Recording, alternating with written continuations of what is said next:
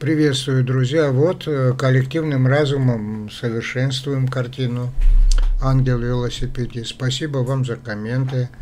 Еще прошу, прошу еще и комментарии, и замечания, и лайки.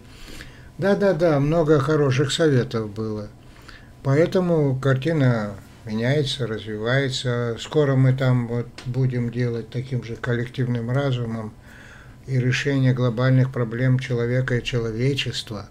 Потому что я, как обещал на прошлом ролике, сейчас буду выдавать такие неожиданные материалы, которые вас даже просто изумят.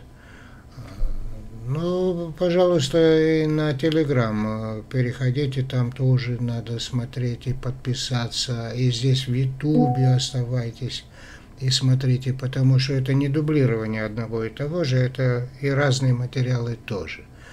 И участники комментов разные.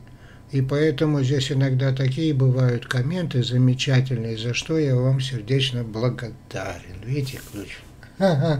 Ключ! Да, я сейчас буду делать такое сообщение в следующем ролике, от чего возникает большинство болезней. Ну, то, что они от стресса возникают, это понятно. То, что они разжигают всякие проблемы, это понятно. Но что именно сознание человека является первым источником болезни, я вам кое-что скажу.